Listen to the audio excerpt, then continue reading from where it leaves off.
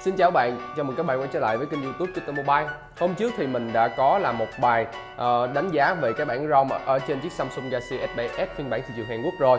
Và sau bài đó thì có nhiều bạn yêu cầu mình là so sánh hiệu năng giữa hai chiếc điện thoại này Giữa một chiếc có ROM cúc và một chiếc chạy ROM stock của nhà sản xuất.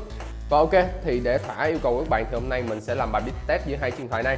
Bên tay trái của mình là phiên bản sử dụng ROM cúc và bên tay phải của mình là phiên bản sử dụng ROM stock và cả hai máy này đều đến từ thị trường Hàn Quốc. Sử dụng con chip là Exynos 8890 và 4GB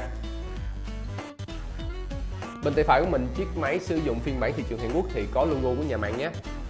Đối với phiên bản bên tay trái xài ROM cúc thì nó hoàn toàn không có các logo của nhà mạng. Vì vậy, nó khởi động lại nhanh hơn rất nhiều so với lại chiếc máy mà có logo của nhà mạng. Ok đến với bài Big ngày hôm nay thì mình để tổng cộng là 5 game nặng nhẹ khác nhau ở đây. Đối với 5 game này thì cái khoảng thời gian load của nó khá là lâu. Và mình hy vọng rằng hai chiếc điện thoại này sẽ có người chiến thắng. Ok, tựa game đầu tiên, Shadowrun 2 nào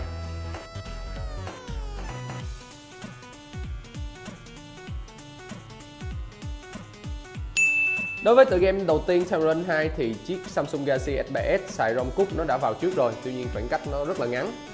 Game tiếp theo là Subway Surfer Đối với tựa game này thì cả hai máy đều hòa nhau, chúng ta không có sự cách biệt nào. Landing B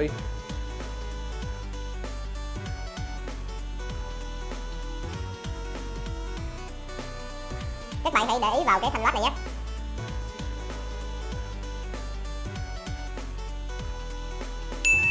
Chiếc Samsung Galaxy S7s xài ROM cúc nó đã vào trước rồi tuy nhiên khoảng cách nó rất là ngắn. À, cái khoảng cách giữa cái hai máy này thì nó cũng không có nhiều đâu chỉ khoảng một giây thôi. Game tiếp theo là Real Racing 3 hy vọng là đối với hai tựa game cuối thì sẽ tìm ra được khoảng cách khác biệt hơn.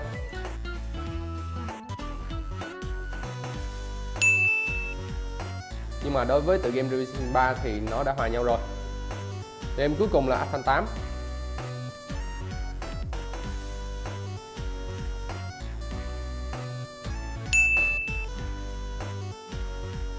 Ok, đối với tựa game Asphalt 8 này thì một lần nữa chiếc uh, Galaxy S7s sử dụng ROM cúc đã vào trước rồi. Nhưng khoảng cách thì nó vẫn quá ngắn để cho chúng ta có thể cảm nhận được. Mình sẽ loát thử một map chơi nhé.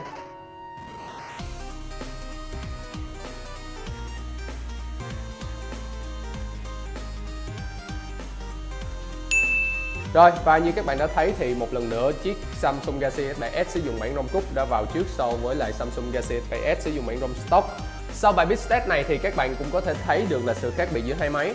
Tuy nó không nhiều nhưng mà nó vẫn có thể cho các bạn thấy được là cái bản ROM cúc nó có hiệu năng nhỉnh hơn một chút xíu so với lại phiên bản ROM stock. Và ok, bây giờ video cũng đã dài. Nếu các bạn muốn tham khảo thêm giá bán của hai chiếc điện thoại này thì đừng quên truy cập website itmobile.vn để tham khảo thêm nhé. Bây giờ thì xin chào và hẹn gặp lại các bạn trong những video sau.